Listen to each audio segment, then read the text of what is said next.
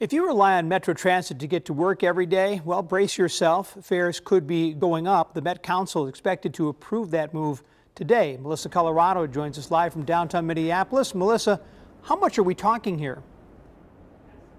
Well, Tim, for most commuters, this all comes down to a single quarter. It might not seem like a lot, but these proposed fare hikes will definitely have an impact on all riders, especially uh, low income families. And the Met Council, they tell me they are prepared to see a dip in ridership if these proposed fare hikes move forward. So how did we get to this point? Well, the Met Council has a major structural deficit. That's because of the growing demand for services and a cut in revenue from the motor vehicle sales tax. That's why the Met Council's Transportation Committee, they are recommending that they raise fares by 25 cents across the board.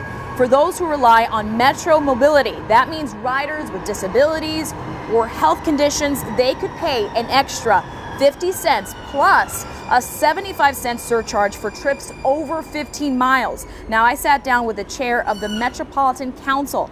Adam Duininck tells me this proposed fare hike isn't enough to fix that deficit. There was very little support for a fare increase, but when we talked about the impacts to our service in the long term, four years from now, we're going to be struggling with a, a long-term structural deficit, and this is one thing we can do as an agency to be best prepared for that.